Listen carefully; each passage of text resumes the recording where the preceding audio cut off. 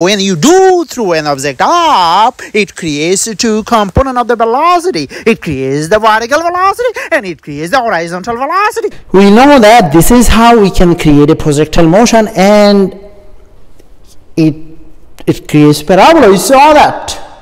Now we want to see how long the bottle, water bottle was in the air and also we want to know a few other things. we want to know the distances traveled. I'm on the rooftop of my building and I throw a ball from the rooftop. So this is my hand. All right, and this is the ground. The ball, when I throw the ball from my hand, it goes up, up, up, up, and then it touches the ground. It touches the ground at time t. We want to find this t. Okay, how long the ball was the how long the ball is in the air that's what we want to find. We we know a few other things. We know initial velocity is 15 meter per second. We know that. This is important information. With this information we'll be able to quickly find the time. All right so let's find the time so y is equal to y naught plus v naught t plus half a t square. So y, so this is, we know that this is negative 50 meter. So you're going to say negative 50. This is 0. Y naught is 0? Because this is my hand, x and y. This is 0 comma 0. So this is 0 plus v naught is 15 so 15t. Today we're going to use acceleration due to gravity is negative 10.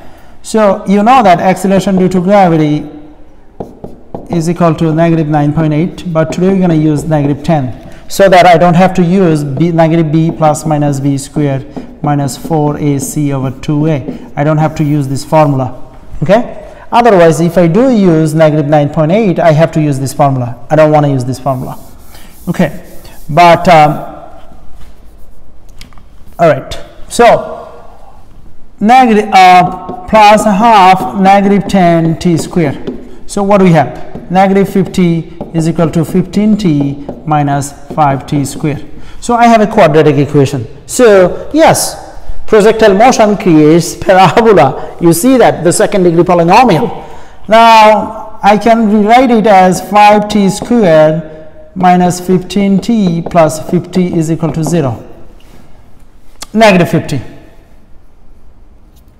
negative 50 okay? So now I have the greatest common factor is 5 so t square minus 3t minus 10 is equal to 0 all right so we have to find two number we have to find two number whose product is negative 10 and sum is negative 3 so which two number can give me the sum of negative 3 and product is negative 10. Okay, very simple.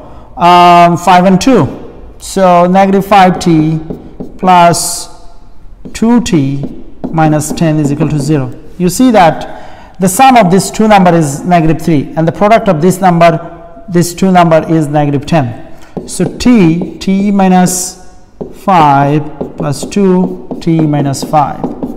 Okay, so I have t minus 5 t plus 2. So this is called extraneous root because the time cannot be negative.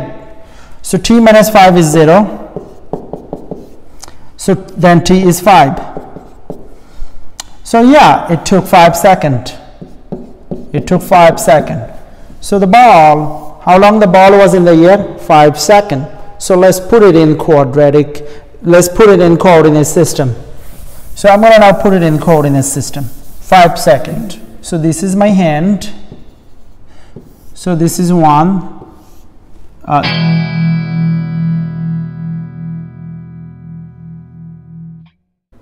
so ball leaves here and it makes parabola. Okay, and this is 5 second and then it falls. So I'm gonna make it green. Okay, so this one is red okay Right, so ball leaps here, we know that with initial velocity 15 meter per second. Okay. We also know that the velocity at the top, so velocity is zero, uh, very over here. So why velocity is zero? If you throw something in the air, it changes the it changes the direction at the maximum height. So velocity is zero at the maximum height. So the the marker when marker go up up up, it stops and is go down. So the marker has to stop to change the direction. So that means its velocity is zero. So on the, at the top, at maximum height, the velocity is zero. Okay. So now you want to know the distance from here to here. So distance of this of this blue line. All right, distance of this blue line. Okay, let's find the distance of this blue line. How can we find the distance of this blue line? So very easy. VF square is equal to VI square plus 2AD all right this is y component at the y direction y direction is because this is free fall the object is in free fall y direction because the object is in free fall. Okay so this is 0 and this is 15 square plus 2 we're going to say we're going to use negative 10 so negative 10d okay or you can use 9.8 doesn't really matter. Negative 9.8 I think I can handle it without calculator. So now D is 11.2 11.5 how did I get D is 11.5 let's see whether that makes sense. So 0 is equal to 225 minus 19.6 D. So 19.6 D is equal to 225 so D is equal to 11.5 meter. So this is 11.5 meter.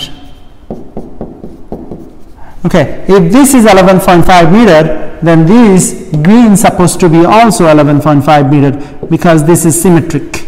So this is also negative 11.5 meter. Okay, this is symmetric. All right. If we talk about distance, which we are talking about distance, then we take the absolute value. Okay, now we are talking about this red part. Okay, this is, we know that 50, negative 50. So this is negative 50.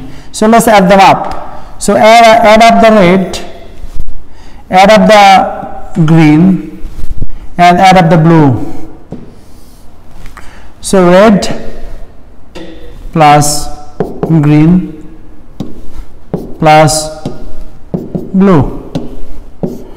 So the red is 11.5 11.5 plus green is let's say green negative 11.5 oops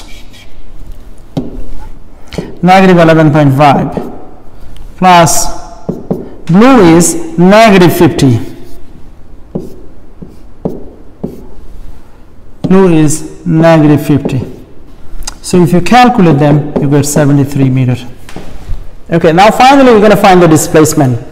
Displacement is the displacement, we're going to find it using this formula 73. I believe this is 73. So this is, yeah, 73. 23 plus 50 is 73 meter. Okay, now we're going to find the displacement. VIT plus half a t squared. Let's see whether we can use this formula to find the displacement. Um, no, we cannot use this formula. So we're going to have to use this formula. VF is equal to VI plus AT. Now, so let's use this formula. VF squared is equal to VI squared plus 2AD. All right. So VF squared is 0 VI square is 2 to 5 plus now we cannot use this so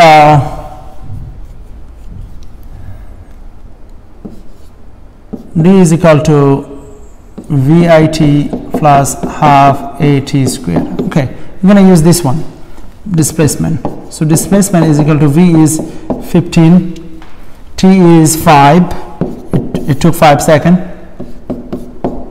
Uh, minus um, let's say 10 minus uh, half or plus half negative 10 and t is 25 so d is 75 minus 125 right? 125 yeah. So then d is negative uh, 75 minus 125 is it 50 ah voila. So this is 50 d is 50 meter. So how does that make sense? Let's see how it makes sense. The displacement we know that d final minus d initial. Okay so what is d final? D final is right here. Let's make this is the d final. Okay what is d initial? This is the d initial. Okay. All right. So then this is negative 50 and yeah it is obvious that why it makes sense why it is negative 50 Okay.